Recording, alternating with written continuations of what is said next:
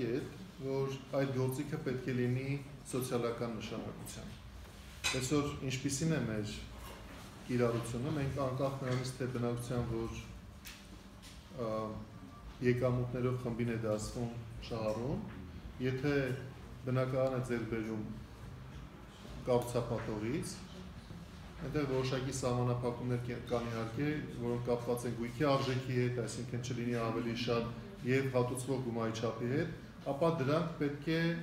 դրանք հատուցվում են ներկա կարգավորումներում։ Մյուս կարծիքն այն է, որ երբ կառավարությունն այդպիսի անսահման պայմանականորեն անվանենք, հա, որովհետեւ իհարկե սահմանափակ է, բայց չի սահմանափակված սոցիալական նկատառումներից ելնելով աջակցում է բնակության բոլոր խմբերին, ապա դա պետական միջոցների օգտագործում այնպիսի մարդկանց համար,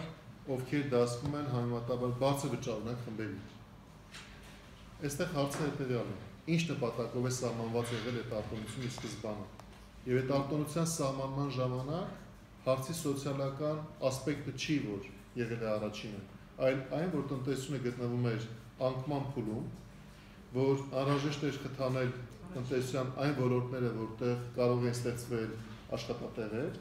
եւ որ այդպիսի ակնհայտ ոլորտներից մեկը շինարարությունն էր, որտեղ աճի ավելի մեծ, որ, որտեղ անկման ավելի մեծ ցուցանիշներ էին արձանագրվել։ Համապատասխանաբար կարգավորումը ինքը, որ մի անգամ սահմանափակման ենթարկվեց արդեն 2 տարի առաջ, այսինքն այդ արտոնության կիրառության շրջանակները որոշակիորեն նեղացվեցին,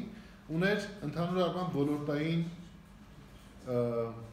խրախուսման կամ ոլորտային տնտեսական ակտիվությունը խրախուսելու նպատակ Հիմա ձեր հարցը ես ինչպես եմ կարծում, ես կարծում եմ, որ ցանկացած միջոցառում կառավարությունը իրականացնում է տնտեսական ակտիվությունը բացի պահելու համար, պետք է շարունակի պահել, քան դեռ չեն վերացել այն մտահոգությունները, որոնք արկա են տնտեսական ակտիվության առնչությամբ։ Այ եթե մենք մի քանի տարի աճենք 10% եւ բարձր ցուցանիշներով կամ 8-9-10% եւ համարենք, որ շինարարությունում եթե մի քիչ ավելի նվազի առաջնային կառուցապատման նկատմամբ պահանջարկը դա շատ բան չի փոխի մեր կյանքում, կարող են գալ եւ քննարկել դրա հետագա սահմանափակումների հարցը։ Այլապես ես կարծում եմ, որ մենք մեր գործիքակազմում պետք է պահենք այդպիսի գործողությունները հասկանալով, որ դրա համար կառավարությունը վճարում է որոշակի գին եւ դա պետական բյուջեից վերադարձող եկամտային հարկի գումարներն են։